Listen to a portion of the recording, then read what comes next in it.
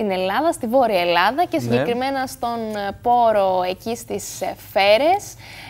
2 και 3 Ιουνίου λοιπόν οργανώνεται για φέτος το έκτο φεστιβάλ και μιλάμε βεβαίως για ένα χωριό για τον πόρο που έχει συμπεριληφθεί σε ένα από τα 15 ευρωπαϊκά χωριά πελαργών από το 2016. Ε, μία γιορτή έτσι, ένα αφιέρωμα σε αυτά τα πτηνά, ε, σε αυτά τα πανέμορφα πουλιά που εντυπωσιάζουν ε, όλους όσοι τα έχουν δει και από κοντά αλλά πιο ειδικός και βεβαίως περισσότερα και για το φεστιβάλ, αλλά και για το ίδιο το χωριό, θα μας πει ο καλεσμένος μας, ο κύριος Δημήτρης Κολιώνη, είναι αντιδήμαρχος Φερών, πρωτογενούς τομέα και αγροτουρισμού. Την καλησπέρα μας, Αντιδήμαρχε. Καλησπέρα, καλησπέρα. Από το Δήμο Αλεξανδρούπολης, από τη Δημοτική Ενότητα Φερών και από τον πανέμορφο Πόρο. Στο Ηράκλειο και σε όλη την Κρήτη. Λοιπόν, ε, Ευρωπαϊκό Χωριό των Πελαργών, πώς το καταφέρατε; Ε, έγινε μια συνολική προσπάθεια και από το Φορέα Διαχείρισης του Δέλτα, του Εύρου και του Δάσους της Δαδιάς, του Πολιτιστικού Συλλού του Πόρου, του Δήμου Αλεξανδρούπολης και της Αντιδημαρχίας Φερών και πετύχαμε αυτό το πραγματικά μοναδικό πράγμα στην Ελλάδα να έχουμε το, στον Πόρο το Ευρωπαϊκό Χωριό των Πελαργών. Και αυτό επαναλαμβάνω ότι είναι μια συνολική επιτυχία και δεν έχει να κάνει ε, μόνο με τον αριθμό των πελαργών που έχουμε στην περιοχή μας, αλλά είναι ένα σύνολο δράσεων που στο επίκεντρο και στον πυρήνα τους έχουν την περιβαντολογική συνείδηση που έχουμε εμείς εδώ στην περιοχή, γιατί είμαστε και κάτοικοι του Δέλτα του Εύρου. Σωστά. Οπότε είναι περιοχές οι οποίες αξίζουν έτσι να στρέψουμε το βλέμμα μας. Ε, θα ήθελα όμως, ε, Αντιδήμαρχε, να περάσουμε στο φεστιβάλ δύο μέρες, 2 και 3 Ιουνίου, αφιερωμένο ε, στους πελαργούς. Τι ακριβώς ε, συμβαίνει από χθες, τι ε, θα γίνει σήμερα; Σήμερα και, και αύριο ε, όλα τα σχολεία της περιοχής, όλοι οι μαθητές, μικροί αλλά και πολύ, πάρα πολύ μεγάλοι γονείς μαζί με τα παιδιά τους και αύριο θα είναι εδώ γιατί θα έχουμε πλούσιες δράσεις που, θα αρχίζουν από τα παιχνιδίσματα, θα έχουμε σκάκι με ε, ε, επίκεντρο των πελαργών, θα έχουμε ζωγραφική η οποία θα γίνει με τα θέματα των πελαργών, θα έχουμε ξεναγήσεις οι οποίες θα γίνονται στην περιοχή και στις φωλές των πελαργών και το κυριότερο είναι μια μοναδική εμπειρία πιστέψτε μου, θα έχουμε τις δακτυλιώσεις των νεοσών. Τι σημαίνει αυτό, ότι με την παρουσία του ΔΔΕ θα έχουμε, θα κατεβάζουμε νεοσούς από τις φωλές, θα τους δακτυλιώνουμε και ξέρουμε ότι και τα επόμενα χρόνια οι πελαργοί ε, από την Νότια Αφρική θα βρεθούν και πάλι στον πόρο.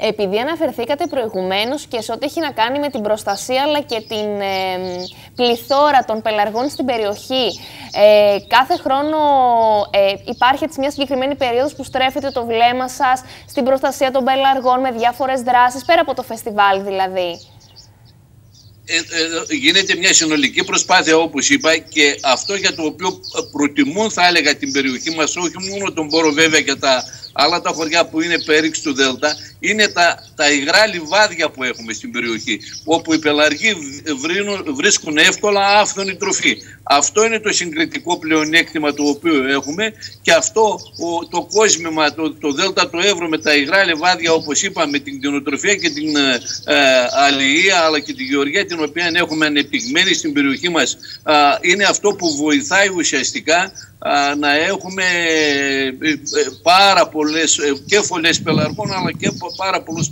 πελαργούς τους οποίους προσπαθούμε κάθε χρόνο και με τις δακτυλιώσεις που παρακολουθούμε να τους αυξάνουμε ε, αν δείτε τις κολόνες οι οποίες υπάρχουν στους οικισμούς ε, της περιοχής και ιδιαίτερα του πόρου, με τη βοήθεια του ΔΕΔΕ σε όλους έχουμε ε, προβλέψει ούτως ώστε να έρχονται οι πελαργοί και να γίνονται εύκολα εφολές τους. Και βέβαια, Αντιδήμαρχε, ένας εκ των βασικών στόχων που έχετε εξ αρχής ε, θέση είναι και η ανάπτυξη του αγροτουρισμού, δηλαδή να γίνει γνωστή η ευρύτερη περιοχή σας για το γεγονός ότι όχι μόνο φιλοξενείτε και σέβεστε το περιβάλλον και φιλοξενείτε πελαργούς, αλλά ότι έχετε και υποδομές που μπορούν να υποστηρίξουν και το κομμάτι του αγροτουρισμού.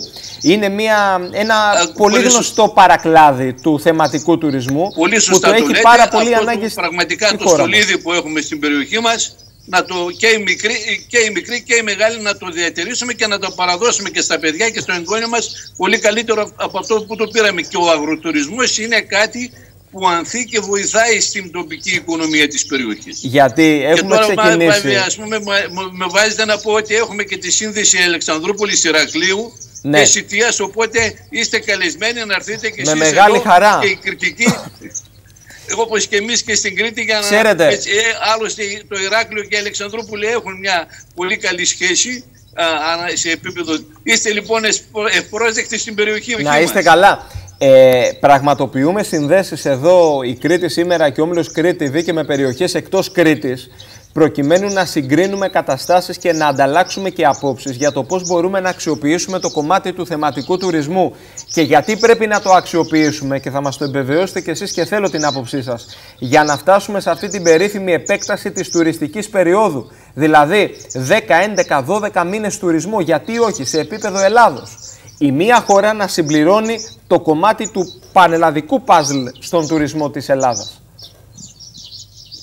Λέω, λέω πολύ συχνά ότι η βαριά βιομηχανία της Ελλάδος είναι ε, ο τουρισμός και η γεωργία και η κτηνοτροφία. Στην περιοχή μας λοιπόν ο αγροτουρισμός, ο οικοτουρισμός αλλά και ο θρησκευτικός τουρισμός είναι κάτι τα οποία ε, μπορούν να συμπληρώσουν εισόδημα πέρα από την Αλεξανδρούπολη η οποία όπως και το Ηράκλειο είναι μια πανέμορφη περιοχή η οποία έχει τον παραθεριστικό τουρισμό σε μεγάλη ανάπτυξη όπως και τον συνεδριακό τουρισμό. Ε, όλα αυτά λοιπόν πρέπει να παντρευτούν ούτως ώστε η επαρχία ανά την Ελλάδα, όπως είπατε, με τις τεράστιες ομορφιές που έχει κάθε περιοχή, να, να έχει πραγματικά μια συμπλήρωση του, του, ισο, του οικογενειακού εισοδήματος.